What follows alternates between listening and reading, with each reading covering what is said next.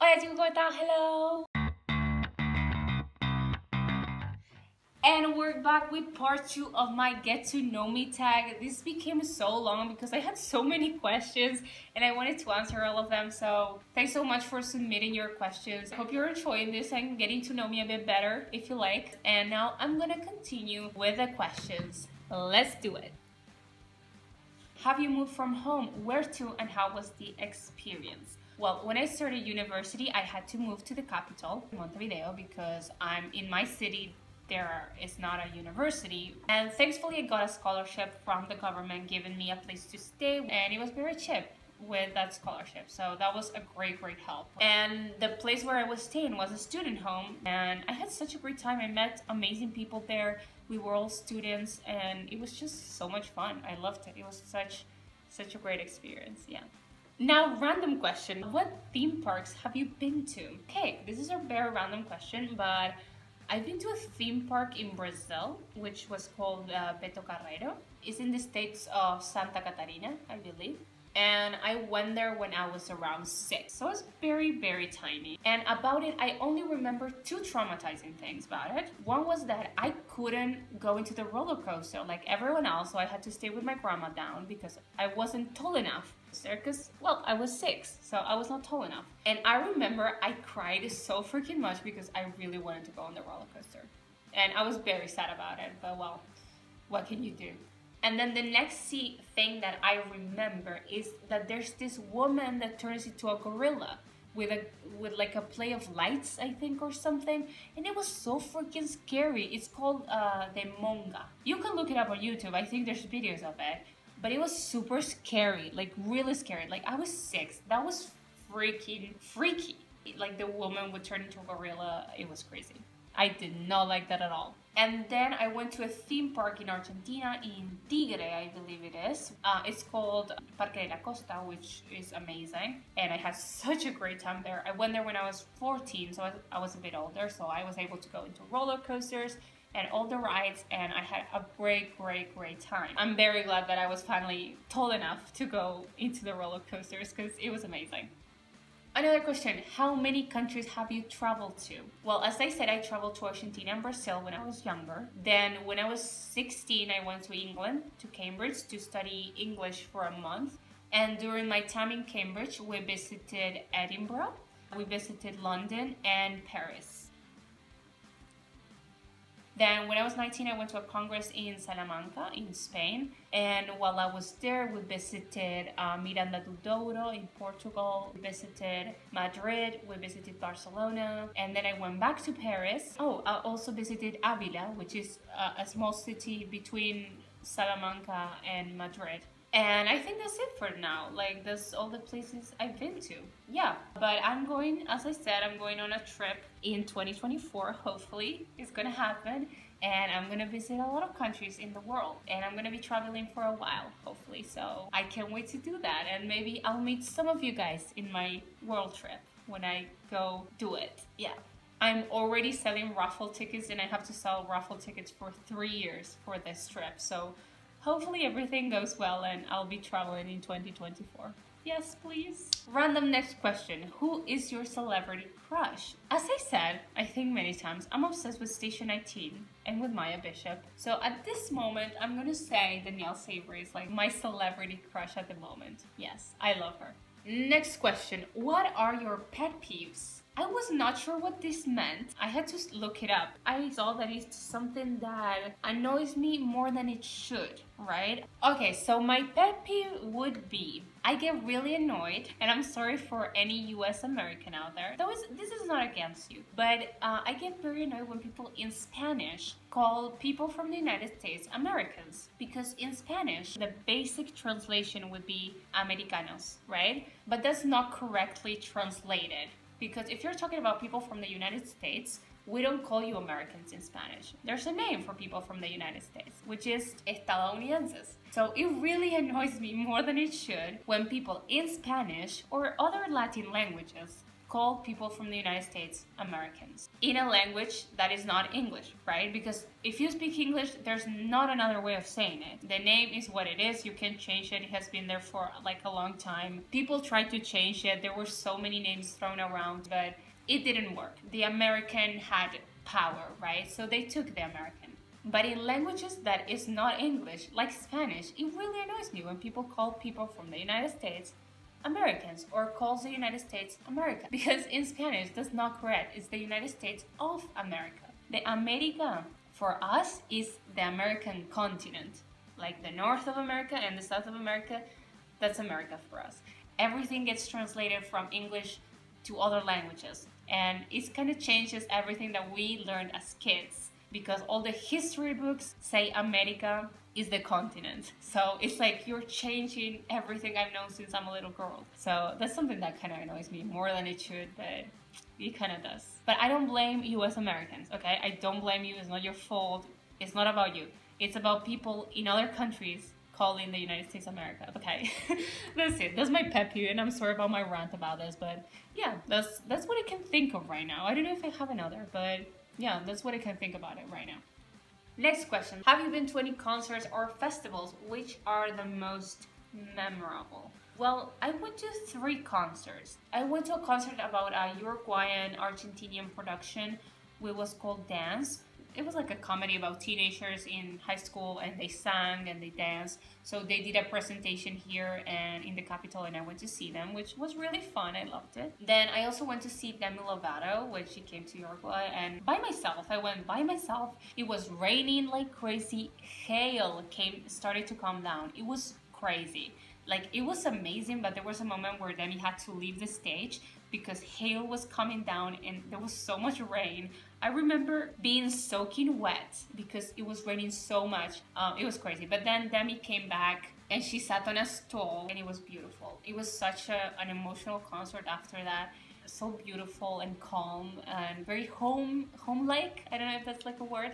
But I remember she wrote on Twitter after that, like she thanked us. She thanks us so much for staying under the hail and the rain um, to wait for her because it really was crazy and it was amazing. And well, I'm never gonna forget that. And I also went to see the One Direction concert because uh, friends of mine won two tickets on a contest and they gave one to me and I went to see One Direction. I wasn't like a big, big fan, but I liked them. So yeah, I went to see it because they gifted me the ticket. So it was, and it was great. I loved it. I actually touched Zayn's bottle. Like, I think Zayn was the one that threw a bottle. Or was it Louis? I don't remember. One of them threw a bottle when I touched it. And it was like, oh my god, I touched the bottle. So kid-like, honestly. I was like 13. I don't remember. I was like, I was really, really young. Okay, this is something I had to write down because it's what is your favorite TV show quote? I had to look some up because I couldn't think about it too much. But these are some of the quotes that I know and I remember and I love. One of them was from Sara Lance on Legends of Tomorrow. She said, I can't decide. I love them both. And I really love that sentence. It's kind of wired into my brain. Then from Charmed, because I'm a big Charmed fan, from the old Charmed uh, series, the one with Holly Marie Combs and Alyssa Milano, you know, which says the power of three will set us free. I love that. I love that. Then from Friends, obviously, the oh my god. I love that one. And also the Joey one that he says like, how you doing? I love that one. I think those are like things that you get kind of wired into your brain and you can't forget about them. And then, well, the good place, I also wrote this down because I love that she couldn't swear, so she was she would say, "Holy mother, forky shirt balls," and those are things that are just so funny, and I love that because that's a very good way to swear without actually swearing, and I love it. And then maybe The Hundred, because I was a big The Hundred fan. I haven't seen it in a while though, but I love the thing they said when someone died, and then they were like, "May we meet again." I really like that. I think it was very poetic. Yeah, which it was like, uh, "In home we'll find the way." I don't know. I don't know how it went, but it was very poetic. The the whole sentence, and I loved it. Next questions. What TV shows are you currently watching? And well, all the ones I'm reacting to right now. So go check them out. Subscribe if you're not subscribed. Let me know if there are any other shows that you want me to react to. But I'm probably watching just the ones I'm reacting to because I don't have much time to watch anymore. So yeah. If you could do one last thing, what would it be? Breathe. I would, I would, I would breathe. You know, before I die. Does it mean before I die? I don't know. I mean, that's so poetic. I would just breathe, I guess. But um, no, I guess I would maybe fly. I would like to fly. That's something I would, I would really like to be able to do because I like going places and seeing people and meeting new things and cultures. So yeah, I would, I would like to fly and be able to go whatever I want. Yeah, that would definitely be like my superpower. If you wanted to know that, I would want to fly. Yes, or or teletransport. Yeah, like be able to be somewhere and then be somewhere else like this. Yeah, that would be like my superpower. If you could live anywhere, where would it be? Well, I couldn't say like a specific place because there would be like so many places. I would just say I would like to live in a place that is calm and quiet. Maybe next to the beach. I don't know. Like I don't like the beach that much, but yeah, somewhere where I could see the ocean and some mountains maybe or something. Very peaceful, very quiet, chill, you know, a place that you can be calm. There's no like rush. Yeah, that's what I would like to live. I don't know where that is, but it could be many places, but that's what I would like to go. Yeah. If you could live in the city or in the country, where would you choose? I think it depends. It depends on the city and it depends on the country. Like I don't want to be too isolated, so I think a middle point. I don't like extremes. I like a place that it has contact with nature, but that also has like a lot of services and things to do. So yes, something in the middle. Yeah, definitely something like that. I love that one. What would be the first thing you do after going home from work or school? Well, I usually listen to music and I imagine alternate realities. Yeah, it's really fun to imagine myself in different situations in the world that I'm never gonna be able to do, but it's fun and it keeps my brain entertained and working. Yeah. Next question. The Explorers on Twitter asked me one thing you would like to cross off your bucket list this year. Well, I would say I would like to cross the 2000 subscribers, which I'm very close to get. And also, well, obviously finishing school, like passing all my exams this year is like a, big uh, bucket list right now, and because I think these are very realistic bucket list things. I don't want to ask too much of this year anymore. Next random question. Do you have any pets? Show them to us. Well, I'll probably put a picture here, but I have a dog. Her name is Kata. I've had her for like seven years. I'm not sure because we had another dog like her before, so I'm not sure when that switched because they look the same. But yeah, I think I think she's like seven. I think. I'm not sure. But yeah, that's it. That's my dog. Another random question. What social media are you addicted to? Well, I'm not really addicted to any social media. I'm gonna say the one that I use more is maybe Instagram or Twitter. I think it's between Instagram and Twitter, the ones that I use more. That's where I spend most of my time. But not too much because I have university and I have to study, so it's not like I spend all my time there, but I do get distracted watching things on Instagram and Twitter sometimes. Yeah, that happens. Another random question. What is your favorite ice cream flavor? Well, I gotta say obviously dulce de leche. I love dulce de leche. And also eh, mantecol. I love mantecol. If you don't know what that is, it's like a like a sweet thing that is made with a lot of butter and sugar and it's delicious. There are a lot of people that don't like it, but oh, I love mantecol. It's so freaking good. Then a random question, what kind of dessert would you like to be? Well, I'm gonna say one of my favorite desserts, which is salchichón de chocolate, which is, I'm gonna put a picture here of salchichón de chocolate because I love this dessert. And if you wanna look it up, it's a really good and it's super easy to make. It's amazing and it's delicious. It's one of like, I think in general, it's like a very famous dessert and it's really, really good. And it's super easy to make. Carla Vega asks, do you believe in astrological signs? What's my sign? Don't know if I believe in them. Like sometimes I do, sometimes I don't. It's it depends. Sometimes they say things that have no make no sense to me, and sometimes they're kind of accurate. So um, I'm a bit skeptical about it. But if you want to know, I'm a Scorpio. That's my sign. I'm very proud to be a Scorpio, even if I don't know much about it or I don't really believe in it too much. But. Okay, two last questions. And before I read these two last questions, I'm gonna tell you what I'm studying. So, I'm studying to be an architect. I'm an architecture student. Hopefully, I'm gonna become an architect next year if everything goes good. I cannot wait to see how that's gonna go because I'll, I'll have to find a job and that's gonna be hard but I can wait to see what life brings. And actually, to answer the question that I missed before, it has always been my dream to be an architect since I was like six years old. I always wanted to. I said like I want to do that because my my dad moved to a different city and there were so many big buildings there, and I said, oh my god, that's amazing. I want to do that. So since I was six years old, I said I want to be an architect. So that's what I'm doing. But I also want to study other things. Like I started doing graphic design, but something I really want to do is cinema. I'm very interested in like cameras and shooting things. That's why I also love doing a YouTube channel because I get the chance to edit and I love doing that. So yeah, that's something I am really interested in.